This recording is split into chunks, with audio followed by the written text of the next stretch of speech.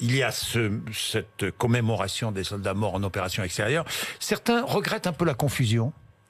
Euh, faire de, finalement faire de ce 11 novembre un, mémorial day à la française. Euh, certains regrettent un peu. Et disent on va peut-être effacer euh, la mémoire de 14-18. Non, moi je trouve que ça a beaucoup de sens au contraire, de relier dans une sorte de chaîne continue oui. les héros du plus grand conflit mondial et historique jamais connu.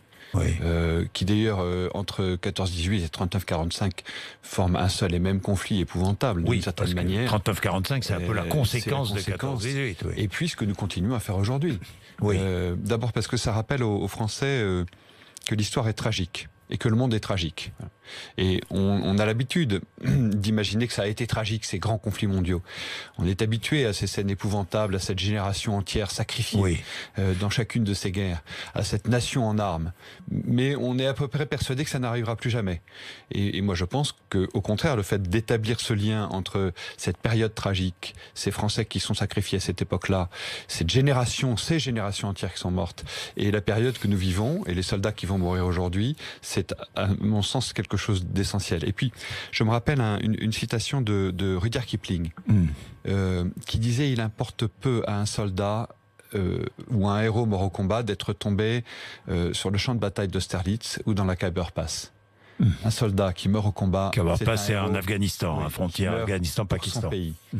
Et finalement d'être tombé sur les champs de bataille de la Marne, ou d'être tombé, ou de tomber aujourd'hui au Mali ou en Irak, c'est la même chose, c'est le même héroïsme. Alors est-ce que la France est toujours en guerre? Est-ce qu'on peut dire aujourd'hui que la France est en guerre, en général?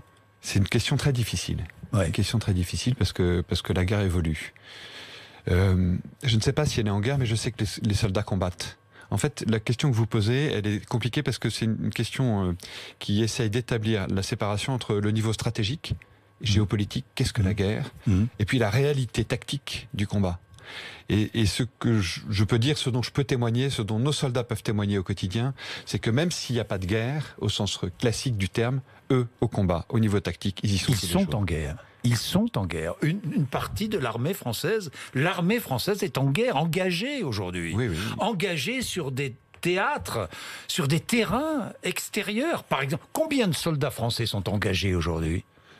Aujourd'hui, directement en opération sur des théâtres de guerre, nous avons 7000 soldats qui sont engagés.